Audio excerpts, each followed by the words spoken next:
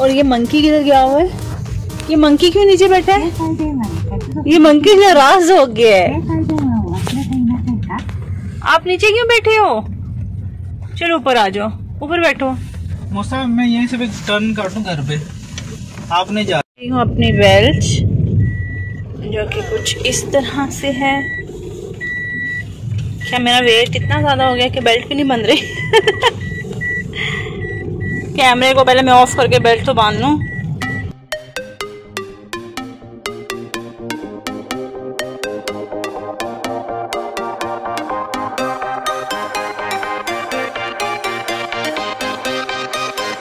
आप लोग भी ये सोच रहे हो कि अभी तक तो मैंने वॉइस ओवर ही नहीं की और ये सब सड़कें, ये शॉप्स में दिखा रही हूँ। एक्चुअली जी, था फ्राइडे का व्लॉग है मेरा, ये ब्लेस्ड फ्राइडे गुड फ्राइडे तो सेल लगी हुई है। अभी मैं आई हुई थी ब्रेकआउट पे और ये वाला जो स्वेटर है ना, बस मुझे इतना अच्छा लगा ना मतलब इसका मटेरियल इतना सॉफ्ट इतना प्यारा है, इसके ऊपर जो पर्ल लगे हुए हैं, बस ये मुझे जाते साथ ही ना उस शॉप में बहुत पसंद आया। मैंने इसकी प्राइस जब देखी टैग में तो थी इसकी price seven thousand and something ठीक है मुझे वो समथिंग वाला भूल चुका है सेवन थाउज़ेंड याद रह गया है।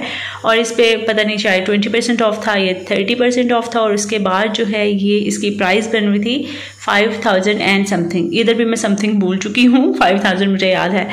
तो मैं ये सोच रही थी कि चीज़ें तो भाई आ, मुझे वैसे ब्रेकआउट में ना जल्दी जल्दी कुछ पसंद नहीं आता सिर्फ़ मैं मूसा के लिए अगर मुझे कुछ लेना हो ना इसके जो हुडी या इसके जैकेट्स मैं वो ले लेती हूँ। अपने लिए मुझे कुछ भी खास पसंद नहीं आता होता।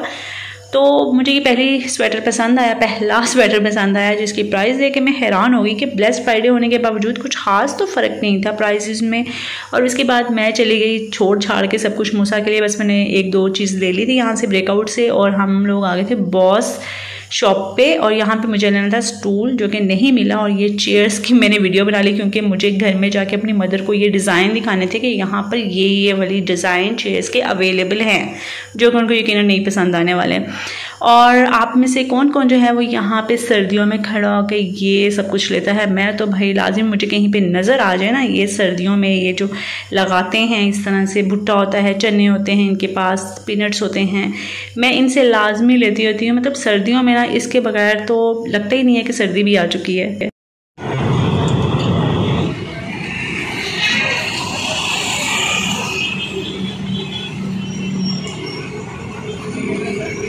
अभी मैं यहाँ पे खड़े होकर वेट कर रही थी कार का क्योंकि घर वापस आने का टाइम आ गया था। मैंने शॉपिंग कर ली थी, जो जो चीज़ें मुझे ज़रूरत की लग रही थी। मैंने ईसा की कुछ शॉपिंग करनी थी क्योंकि विंटर स्टार्ट हो चुका है और बच्चों को भाई सर्दी से बचाने के लिए बहुत सारे कपड़े चाहिए होते हैं। तो मैंने ईसा की काफ़ी सारी मैं शॉपिंग करती रहती हूँ। माशाला से जब से वो साहब दुनिया में तशरीफ़ लाए हैं ना, बहुत सारी मैंने उसकी शॉपिंग कर ली हुई है।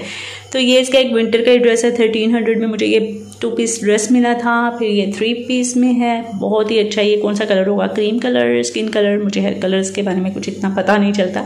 ये येलो कलर तो बच्चों की ना आपको सर्दियों में बड़ी चीज़ें चाहिए होती हैं मतलब उनके इनर वेयर चाहिए होते हैं, उनके गर्म कपड़े चाहिए होते हैं, और मुझे तो वैसे भी बड़ा अच्छा लगता है जब हम अपने बच्चों को ना प्यारे प्यारे से कपड़े पहनाते हैं ना तो मुझे वैसे ही बच्चों बड़े अच्छे लगते हैं। तो मैंने कुछ कैप्स लिए, कुछ इनर वेयर्स लिए हैं उसके।